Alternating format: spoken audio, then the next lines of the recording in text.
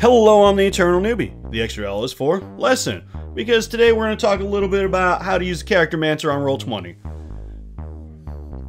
I have other videos on Roll20 about how to actually use it, how to use it to level up, how to level up the other way, things like that, and I've noticed they've been getting more, few more views lately, and I received a question, like, can you use the Charactermancer to go to a level besides one? And the answer is no, but yes. So let me show you what I'm talking about. Let's go to back to Jack T. O'Neill. Oh, sorry, Jack T. Skywalker, who is the basis for my character Hans T. O'Neill, my space goblin. Also a monk. He's in Descent to Avernus. Maybe I'll do a story about him one of these days. It's pretty fun.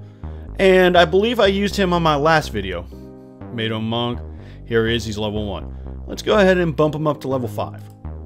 You don't have to do level 5, so you go to this screen, little gear right here hit the launch level plus charactermancer thing. And here we go, start. Go to next. And I want to bring him to level 5. He's level 1. If I just want to go to level 2, I just leave it the way it was. So, but we're going to level 5. Then you go hit points. I always take average.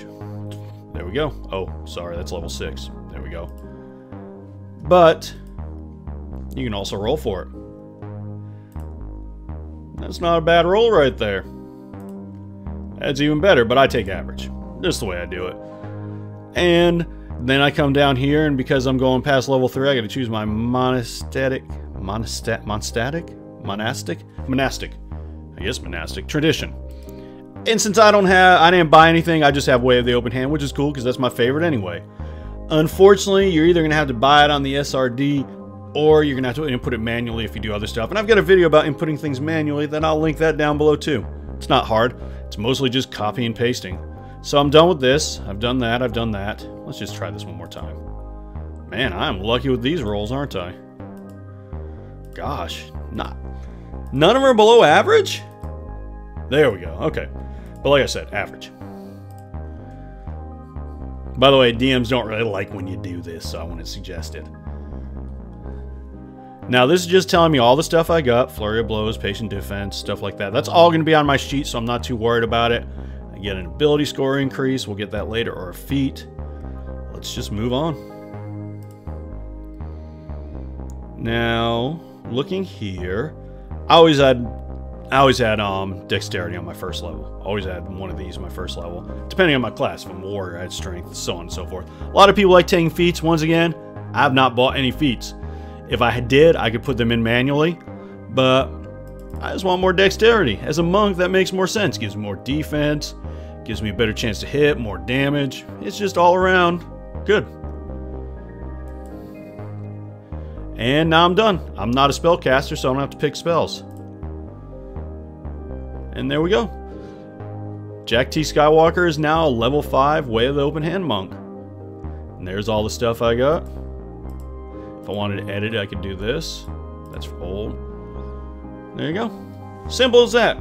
Now let me just show you one more thing really quick. Do I have a cleric? This will work. I'm not going to save this because this actually is not my character. And I don't know if this person's, but I wanted to show you adding spells. So let's do this. Next.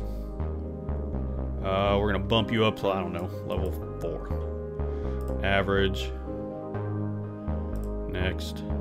Yeah, it's just the features I got. Level 4. not keeping this, so it doesn't matter. And now I get to choose some spells. Oh, this person never chose spells, so choosing spells is really easy. Obviously, they only have the player handbook stuff. They might, you have to pay and get the other stuff if you want it. So you just, it's real simple. Just click. Now, how many spells do I get to choose? I get to choose three spells, or... No, I get to choose seven spells, okay. And I'll just do that. And there you go. Like I said, I'm not going to apply changes because I don't mess up this person's character if they need it. But simple as that. Hope you found this video informative, and if you actually have any questions or anything, let me know. Um, got plenty of time right now. Working on other videos and stuff like that, and yeah, so, cool. Thanks for watching.